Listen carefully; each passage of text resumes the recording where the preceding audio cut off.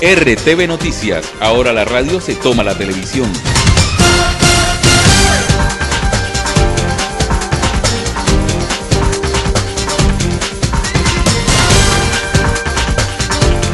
RTV Noticias.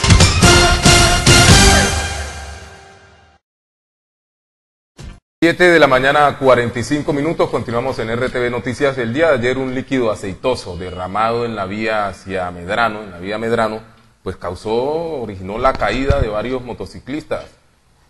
Sí, Juan Gabriel, mire, eh, aquí estas fotografías lo evidencian, como desafortunadamente personas eh, distraídas, porque pues, se puede decir así, no saben que hay este líquido regado, más de 6, 7 personas alcanzan a, caerse. Viene, viene siendo muy recurrente que pase esto, eh, algunas personas que eh, cargan en estas bombas, tanquean combustible para llevar para, el tema de minería, el, tema de extracción de madera, para diferentes temas terminan causando estos traumatismos. Llenan unos tamburrios, unas pimpinas, unos galones, van saliendo y no les importa eh, lo que van regando, van dejando regado este tipo de, líquidos, este tipo de, combustible en la vía y mire lo que causan. Eh, afortunadamente, rápidamente bomberos fue informado del tema, acuden al sitio, mire todo lo que logra dejar regado. Eh, esto veníamos bajando de, venía bajando de Medrano el aceite, ¿no? Porque pues una bajada, me imagino que el carro iba subiendo, porque acá hasta la carrera séptima alcanzamos a encontrar eh, este líquido eh, vertido allí. Como le decía, estuvo bomberos en el sitio, afortunadamente rápidamente logran hacer lo que corresponde. Y y bueno, mira, iba eh, eh, llegando la gente de bomberos con acerrín, le echan acerrín y, y, logran eh, Sí, mire, este es un tema que pasa inicialmente por la responsabilidad que recae en las autoridades porque el transporte de todo tipo de combustible de la manera como se ha manifestado en las pimpinas, en los galones, tamburrios, debe hacerse de manera controlada. Son las autoridades las que deben garantizar que este tipo de líquido sea transportado de manera correcta. Primero porque puede ser derramado y segundo porque puede causar otro tipo de emergencias, como puede ser el incendiarse alguno de los vehículos que transportan este tipo de combustible. En este caso específico, estamos tratando hoy en RTV, pues se trata del derrame del mismo en la vía, lo cual eh, ocasionó la caída de varios motociclistas que transitaban este sector de Medrano en la ciudad de Quibdó.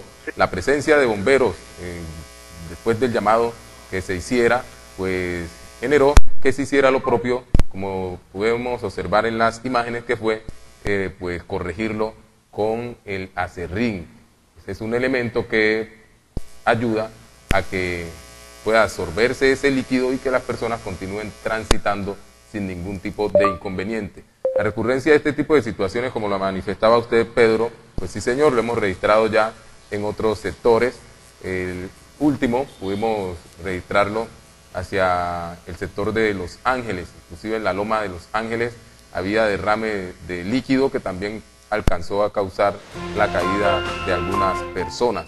Entonces las autoridades a tener mayor cuidado con el tema de transporte de combustible aquí en la ciudad de Quito, ya que se están presentando muchísimos traumatismos. A las 7 de la mañana, 49 minutos, vamos a hablar vía telefónica con el comandante de bomberos de la ciudad de Quito, para que nos comente, comandante, con los buenos días, frente a específicamente, vamos a arrancar hablando de ella, el derrame de combustible en vías de la ciudad, ¿qué nos puede decir frente a la participación del cuerpo de bomberos y también a las prevenciones que se deben tener? Buen día.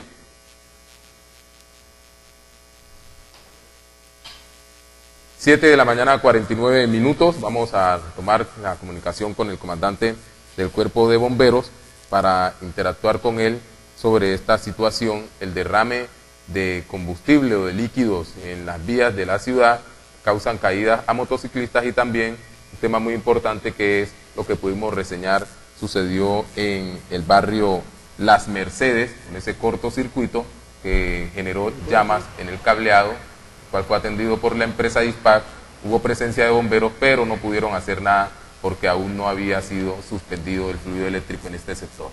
Sí, señor. En lo que tiene que ver con el accidente, pues déjeme decirle, Juan Gabriel, que afortunadamente de las seis, siete personas que, se cayeron, eh, no hubo lesiones de consideración, excepto una persona que eh, desafortunadamente, eh, creo que en la rodilla, logra un golpe bastante fuerte con raspones y otras cosas y, bueno, atendida en un centro de salud, en un puesto de salud, pero la gran mayoría terminan ilesas, gracias a Dios.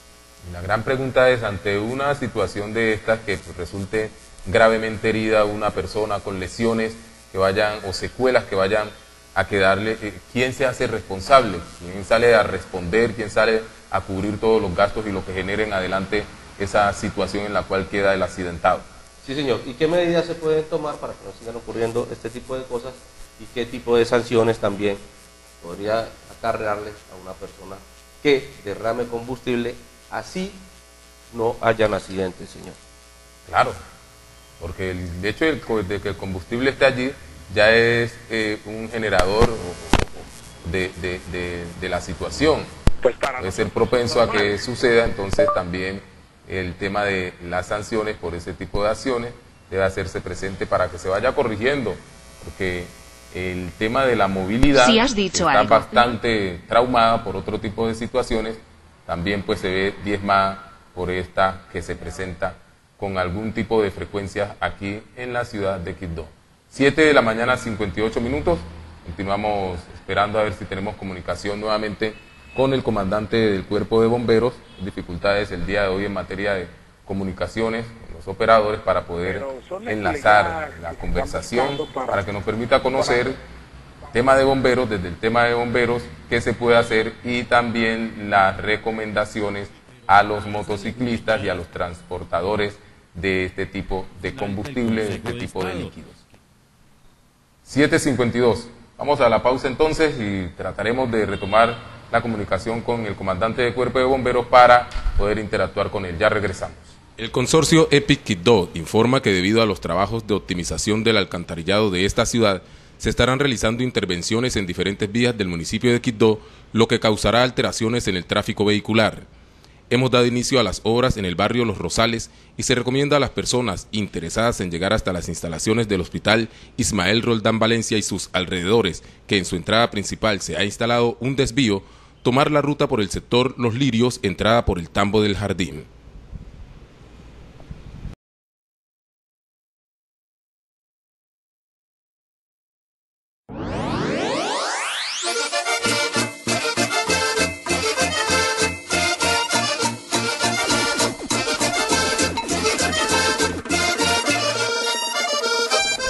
Muy pronto, en RTV Televisión regresan las imágenes del ayer para que tengas la oportunidad de conocer o volver a vivir aquellos momentos. Véanos en el canal 82 de STVNet Antiguo Cable Unión y el canal 96 de Cable Más. Imágenes del ayer, porque recordar es vivir lo que el tiempo no ha logrado borrar en tantos años.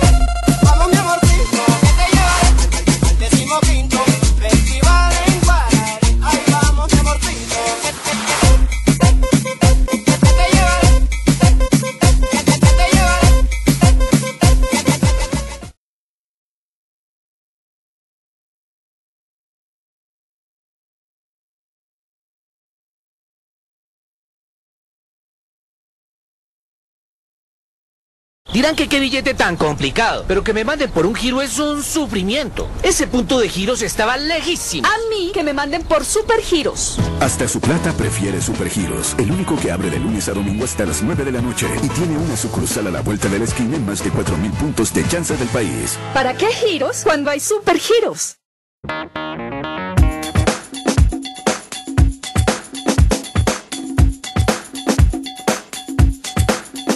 Ortopédicos del Pacífico, un grupo de médicos con todo el conocimiento y la especialización científica en el tratamiento de los huesos, articulaciones, tendones, ligamentos y músculos del cuerpo. Julio César Kutenroikovich, médico fisiatra. Harold Hoyos Urrutia, especialista en reemplazo articular de cadera y de rodilla. Roger Alead Madrid, ortopedista. Y Narcilo Arborea Hurtado, especialista en ortopedia de columna. Contamos con las nuevas técnicas quirúrgicas y los procedimientos en servicios ortopédicos más avanzados, que incluyen el uso de sustitutos de injertos óseos y la fijación externa avanzada, así como el tratamiento de deformaciones e infecciones en los huesos y columna vertebral, ruptura de ligamentos, juanetes, dolor de talón, luxación de rótula, terapia física, respiratoria y todo lo relacionado con el campo. Ortopédicos del Pacífico, carrera número 2912, teléfono 320-672-9448.